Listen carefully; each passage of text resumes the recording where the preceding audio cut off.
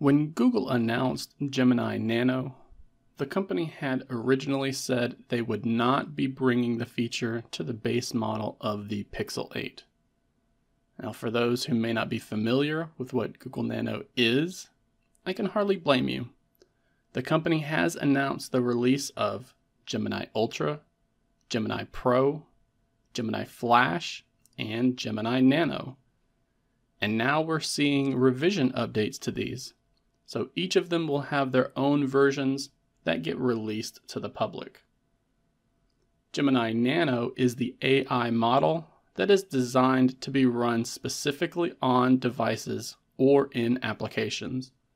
For example, we've seen this AI model released for the Pixel 8 Pro and the Galaxy S24 Ultra, and we know that they are working on it for Chrome as well.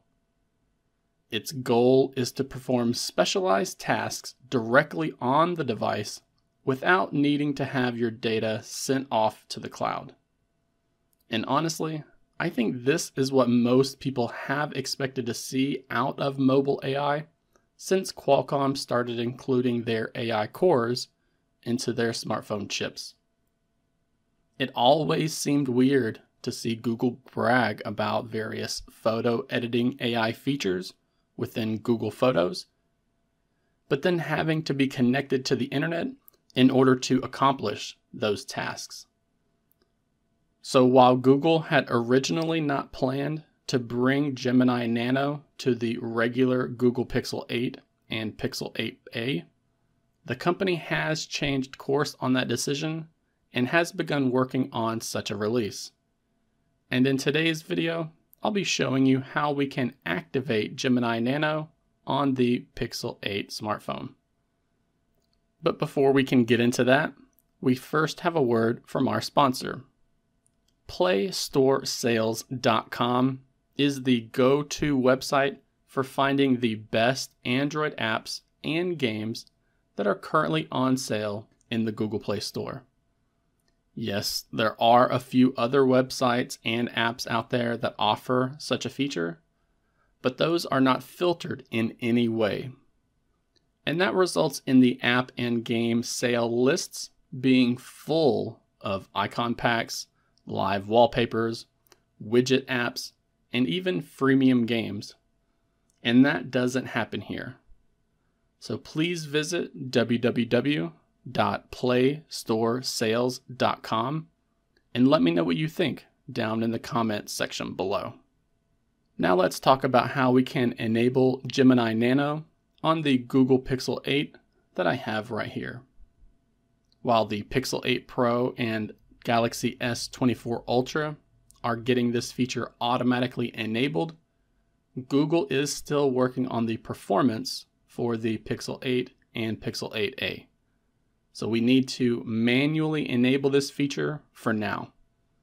And to do that, we first need to activate developer mode on the Pixel 8.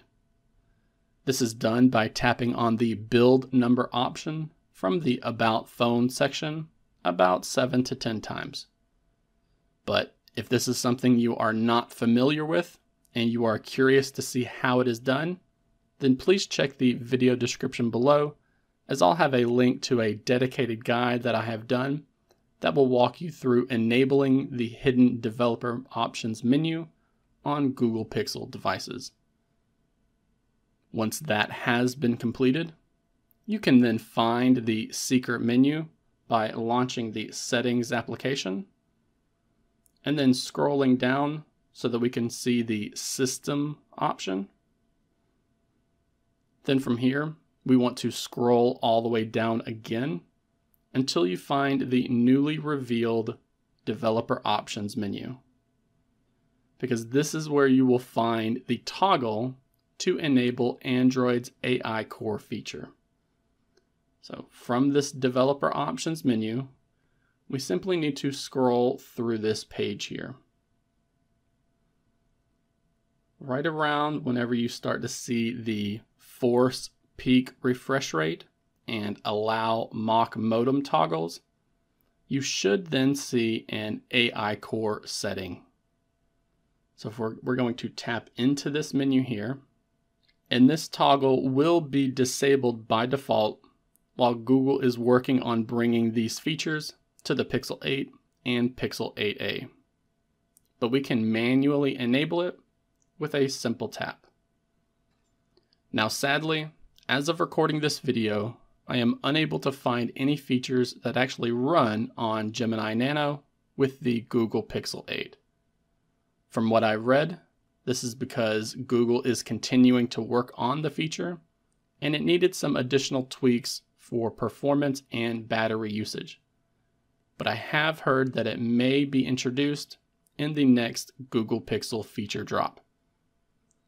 However, enabling this toggle right now should grant you access to those features the moment they become available to us.